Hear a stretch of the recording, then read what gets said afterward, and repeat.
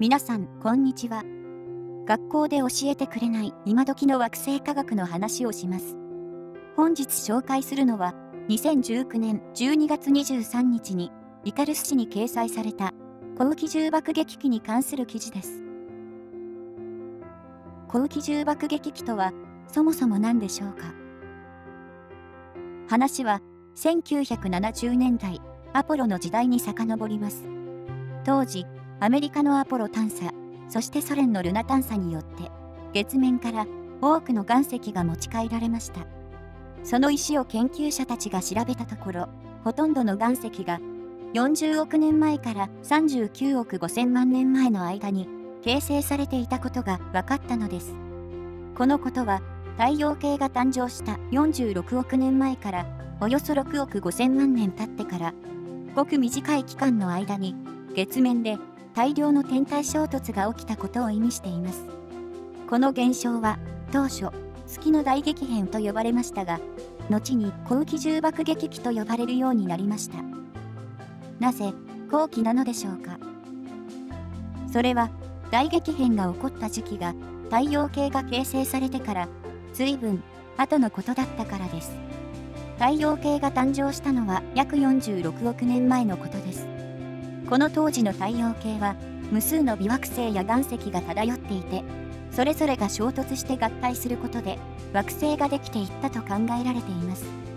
しかし1億年もするとほとんどの岩石は失われ太陽系は比較的平穏な状態に落ち着いたと考えられていました。しかし月の岩石のデータは太陽系ができてから約6億年後に天体衝突がいきなりたくさん起こったことを示していたのです。なぜ一度落ち着いたはずの天体衝突が再び増加したのでしょうか？このことを説明するために様々な仮説が出されてきましたが最も有力なのが2000年代に提唱された惑星移動仮説です。これによると木星と土星は太陽系が形成された直後は現在の位置とは少し異なる場所にありました。木星と土星は太陽系では最大級の惑星であり重力が桁外れに強い惑星です。そのため互いの重力によってだんだん軌道が不安定になっていきます。そして太陽系が誕生してからおよそ6億年後に惑星の大移動が起きその時に多くの小天体が影響を受けて内側や外側に弾き飛ばされました。内側に弾き飛ばされた小天体が月面に大量に衝突し大激変を起こしたのです。この惑星移動仮説はニースモデルと呼ばれ後期重爆撃機とともに学会では過去数十年主流の考え方でした。月でこのような大量の天体衝突があったということは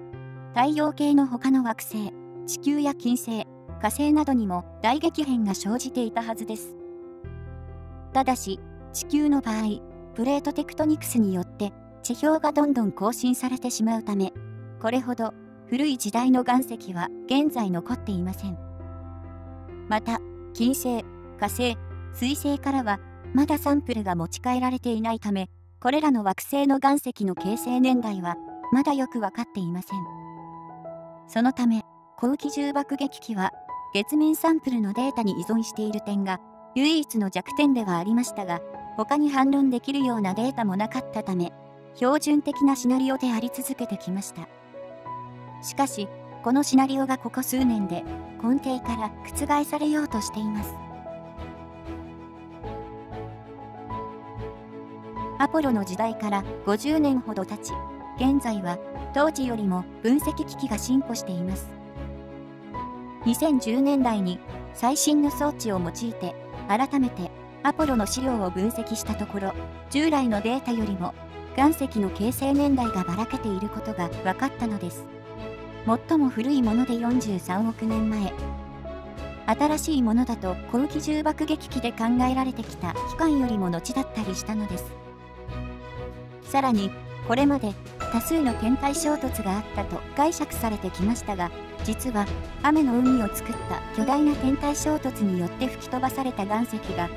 月面の他の場所に再衝突することで見かけ上多数の天体が衝突したように見せかけていただけの可能性が出てきたのです。つまり地球や月に大量の小天体が降り注ぐような小浮重爆撃は存在しなかった可能性が出てきたのです。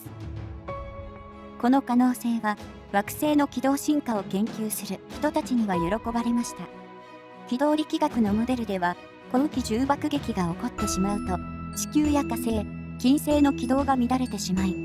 現在のような円軌道にはならなくなってしまうからです。さらに2019年12月23日に衝撃的な論文が公開されました。これまで小浮重爆撃をサポートする側であった。ニースモデルを提唱した研究者らが一転して小浮重爆撃を否定するような論文を出版したのです。この論文によると木星や土星が移動するような軌道不安定を遅い時期に起こすのは非常に難しくむしろ太陽系が形成してから1億年以内に起きやすいことが示されました。このことは大量の天体が地球や月に衝突したのは太陽系が形成してからおよそ1億年以内の話でありそれ以降は比較的平穏であったということです他にもこの新しいシナリオによればなぜ火星は他の固体惑星に比べて小さいのかや小惑星帯がなぜこんなにコンパクトなのかも説明できるとのことです。